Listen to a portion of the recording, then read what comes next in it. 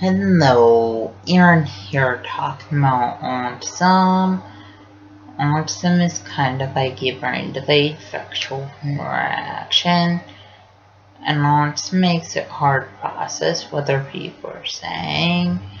Also, autism makes it hard to process other people hugging and kissing, and autism makes it hard to process other people holding hands. Also, arms makes for people anxious when large crowd, and that sounds. And arms makes for people anxious wearing backpacks. Also, arms makes for people anxious at school day. Eh? And arms makes for people anxious on disco bus. Also, arms makes for people anxious when fire alarms go at school and arms makes for people anxious eating lunch in the school cafeteria. Also just let know the signs of autism or lack of skills, lack of eye contact, lack of speech, lack of communication.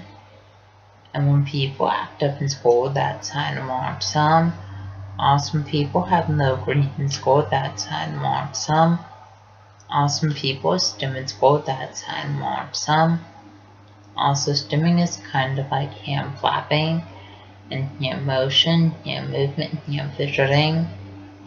And people with autism stim in school classrooms and stim walking out of school classrooms. Please subscribe you can comment.